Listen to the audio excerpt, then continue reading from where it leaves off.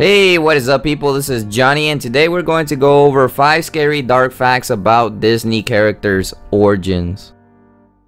Number 5. The Princess and the Frog. In some of the versions of the Frog Prince, the frog's head is chopped off or the skin is burned. There is no logical reason why these versions believed it would break off the curse. Number 4. Alice in Wonderland You may already know Alice in Wonderland is a weird story. The book of Alice in Wonderland was written when the Arthur Charles Lutwidge Dodgson, known as Lewis Carroll, and the Reverend Robertson Duckworth rowed a boat from Folly Bridge to the village of Godstow. There were three little kids on the boat. They were bored, so Lewis decided to make a story out of nowhere. Then after the story was told, the girl Alice Liddell asked him to write it down.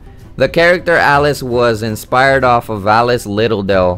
Where it starts to get disturbing is when Lewis Carroll had a big interest in children. He would photograph many young girls, and many even say in nude. Rumors during those times suggested he wanted to marry the 11 year old Alice Liddell. No one knows for sure if he was a pedophile, but during the time many say he was indeed oddly interested in young girls. One last thing worth mentioning is that many believe that the elements of the stories are based off of drugs such as mushrooms or potions that were included in the story.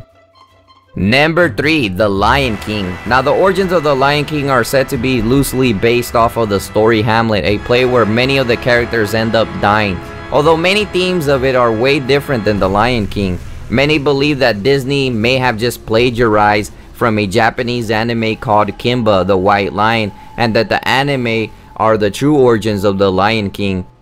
If you look at the similarities, they literally just changed the name from Kimba to Simba. In the early presentation from Disney of The Lion King, they even showed Simba in a white color which resembled a lot to Kimba. Even the voice actor Matthew Broderick, when hired as a voice actor, thought his role was related to Kimba, the white lion. Creators, however, deny any connection between the two. However, they do bear a strikingly resemblance.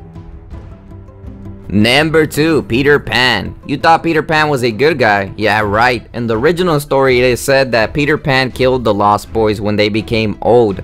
They aren't specific on how he exactly kills them, but a line in the story states, Peter thins them out. They say it was because becoming adults are against the rules. There is even another line in the story that states he did this because there is a saying in Neverland that every time you breathe, grown up dies and Peter was killing them off vindictively as fast as possible. The original story in itself was already a bit dark to begin with and this even made it a bit darker. Number 1. The Jungle Book the book is very different from Disney's adaptation. Mowgli becomes an adult, makes his attempt to reintegrate into society only to be rejected. He is disliked by the villagers who eventually try to hunt him down. They even beat the crap out of Baloo the bear. But what makes it so outrageous is that in many ways, many people are killed in gory ways. The story, however, ends on a happily ever after note. Thank you for watching this video and I hope you enjoyed it. Let me know in the comment section what you think about this video. If you haven't checked out some of my previous videos, you can click on the boxes in order to go ahead and watch them.